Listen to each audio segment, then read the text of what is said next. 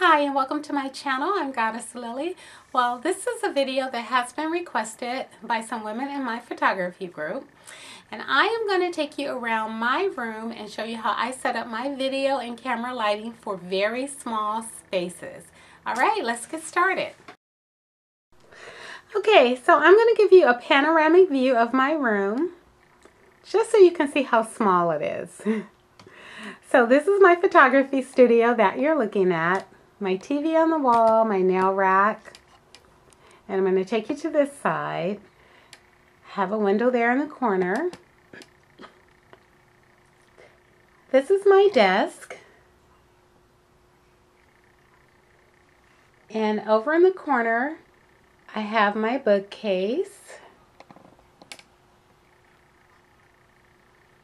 which also serves as my holder for my wigs. I am a wig maker and right there is my little meditation area. I'll zoom in so you can see that.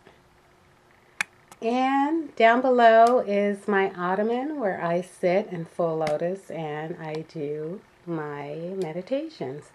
This is a closet and it has mirror closet doors. So on that side of the room this is my office bookcase. This is my file cabinet, which serves as my photography studio, my umbrellas. Over in the corner there is my um, jewelry armoire and my jewelry earring holder on the top. And right here is my vanity table, my makeup and then that's the door leading out. So this just gives you an idea of how, how small my room is. So right there is another light and a tripod. I don't have an umbrella on that one. That one is basically just brightening up the room. So let's get started and talk about the photography area. Okay, so the first thing we're going to talk about is backgrounds. Backgrounds is pretty important in the role of photography, only because what your background reflects, you know, can change or break your photos. And as a wig maker, for me, my photos make my business. My photos are out there on the internet and on the web for all to see, and it's what drives in my business. So photography is really important for me and my business. So what you see here is an infinity board. I love this background and I basically use this for photographing makeup. I'm a beauty blogger and I like to photograph my makeup and this is basically what I use that for. And um, the infinity board I got from BH Photo online and it has these little um, where you can basically let it out and you can lay it flat down on a table. But I'm not going to do that. So you can basically stretch it out to where it'll lay flat if you want to, you know, take photos flat. It, it's good for that. So what else I use that I really love is called the My Studio. This is made out of very sturdy fiberglass. It's really huge. They have two sizes and this is the smallest of the sizes. And I also ordered this from BH Photo and it comes in a super huge box. So just be wary of that when you order it. It's going to be sitting on your front porch.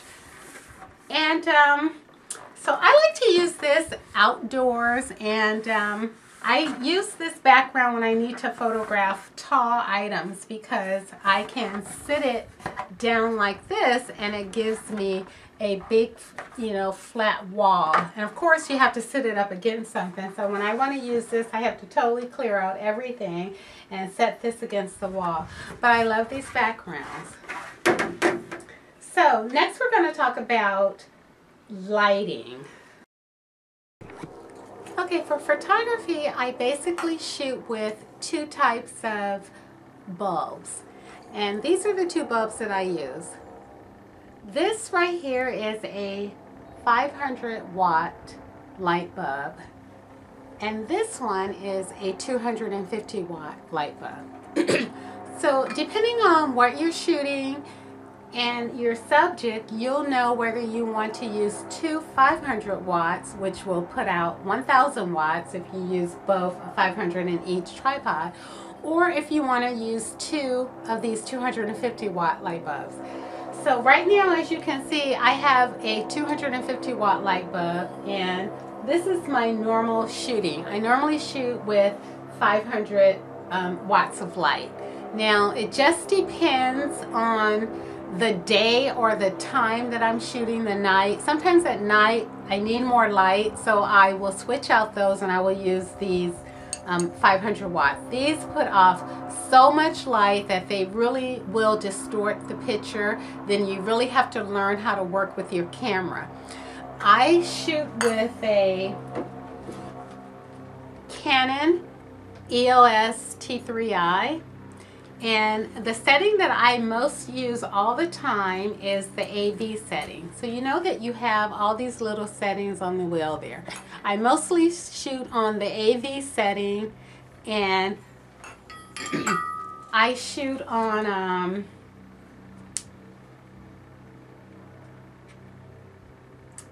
so well when you have your camera you can let's see if I can take this off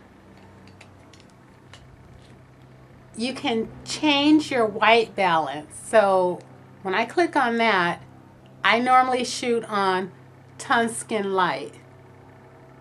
So that's the setting that I normally shoot on. Tungsten, so that you get there by clicking on this little key that says um, WB. So then you just press set. So that's the setting that I normally shoot on and I normally have it on the AV. So under that setting and 250 watt light bulbs, I get a almost perfect white background and very seldom do I have to go into Photoshop and white the background. You know, just uh, do the um, the bright, the brightness. Very seldom do I have to do that. But at night, then it's kind of iffy. But I don't never take photos at night. I just love that setting. I love taking photos during the day. So, um, these are incandescent daylight light bulbs. These are the white daylight bulbs and they put off not a lot of light. They are not really good for taking photography pho for photos, but they are excellent for videos.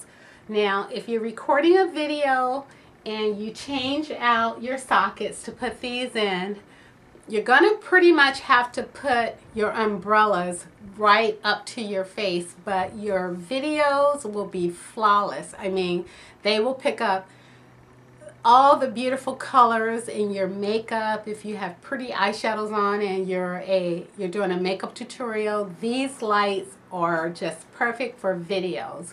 But you have to be pretty up close to the camera to use these lights. And um, so I don't do makeup tutorials but I do have these lights because sometimes I do film close-up videos where I want to show really intricate details of my ventilating. Ventilating is what I do as a wig maker, so I like these lights for that. And they work well with my video camera. My video camera is a Canon Vixia. It's probably about three years old. I do have my eyes on a, another one, which is a higher grade, and um, fingers crossed that I get that for Christmas if my husband's nice or if I'm nice. but anyway, so the last thing that I want to talk about is the shields.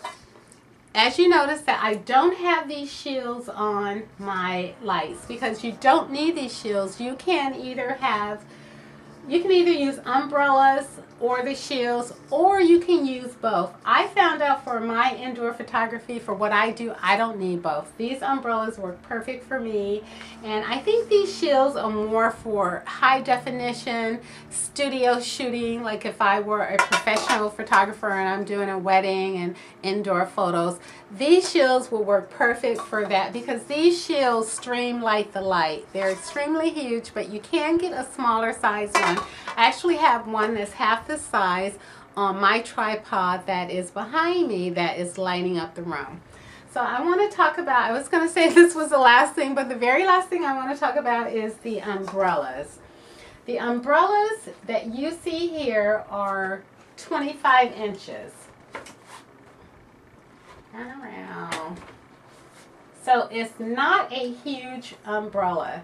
And when you order your lighting system, your lighting system is going to come with two tripods or three tripods, two umbrellas or three umbrellas, but they're going to be the really large umbrellas like 35 or 40 inches wide. This is 25 inches. This does not come in the set. You have to order this separately. I got my umbrellas from BH, Cos BH Photo. I got um, three umbrellas and I'm actually going to take this umbrella off this tripod behind me just so you can see how it looks.